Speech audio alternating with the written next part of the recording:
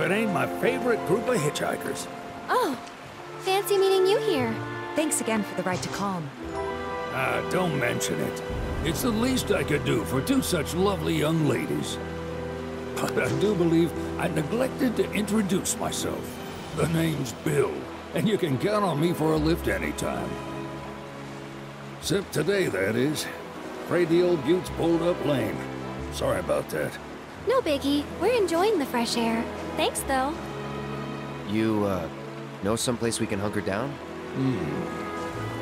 Hunker down, you say? Oh? I'd almost forgotten what it was like to be young and in love. Y'all just head straight that away toward the swamplands. You'll find an abandoned building by the dock. I guarantee no one will bother you there.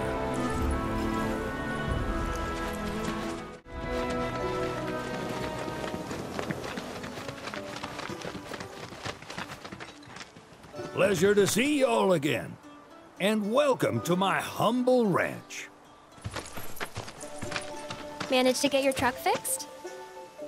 Indeed I did. You must have been my lucky charms. She started up right after you left. Anywho, what can I do you for? You in the market for some fine feathered friends by any chance? Are we ever? need Need 'em to get through the swamplands. Then you have come to the right place. Back in the day, we had Republic ferries to get us from A to B, but now they're nothing but driftwood, sadly. We got the next best thing, though chocobos. To them, a bottomless bog's no worse than a kiddie pool. Now, ladies, you're probably wondering what gives these birds the power to glide across swamps with ease. Uh. Would you believe that their fluffy feathers give them the buoyancy to float, while their limber legs can outrun a motorboat? Not even the dreaded Midgardsormr, one of the fastest fiends around, can keep up with them. wow. But you don't need convincing. You just need pointing to a hard-working chocobo. Nature's two-legged limousine. So, can we rent some? Sure can. My grandson Billy's in the stable over yonder. He'll help you out.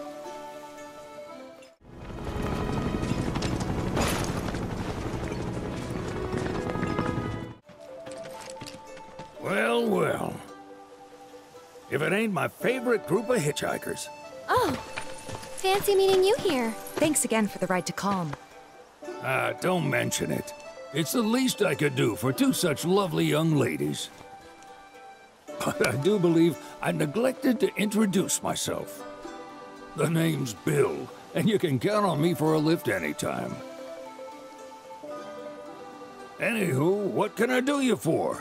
You in the market for some fine feathered friends by any chance? Are we ever? Need 'em to get through the swamplands. Then you have come to the right place. Back in the day, we had Republic ferries to get us from A to B, but now they're nothing but driftwood, sadly. We got the next best thing, though chocobos. To them, a bottomless bog's no worse than a kiddie pool. Now, ladies, you're probably wondering what gives these birds the power to glide across swamps with ease.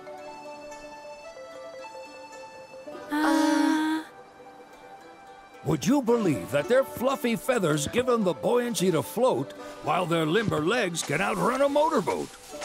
Not even the dreaded Midgardsormr, one of the fastest fiends around, can keep up with them. wow. But you don't need convincing. You just need pointing to a hard-working chocobo. Nature's two-legged limousine. So, can we rent some? Sure can. My grandson Billy's in the stable over yonder. He'll help you out.